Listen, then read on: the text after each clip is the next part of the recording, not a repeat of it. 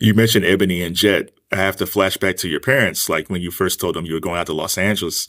So what was it like, like years later when they saw you in these different magazines that you were like this big time executive? What was that like?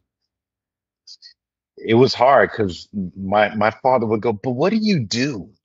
So said, "Well, Dad, you know, I I do this, I do that, I do this." But he came from another world. I think it's a little like today if some your kid comes up and says, "I'm making an app."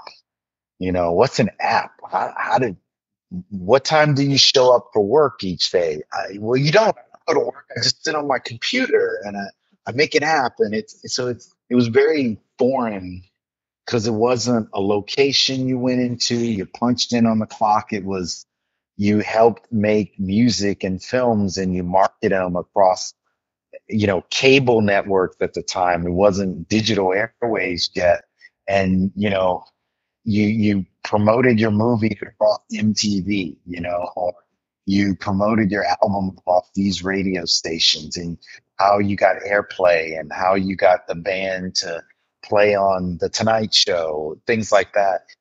And they were mystified by it. You know, they would I remember once we had Boyz II Men on the Tonight Show and um I think they were performing Motown Philly and I was like explaining to my parents, okay, they're gonna be on the Tonight Show, but let me tell you my part of how that happened.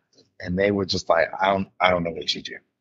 And then I think showing up in the trades like Ebony and Jet and Black Enterprise, even if they didn't understand what I did, they started to cut me some slack that I didn't go to college.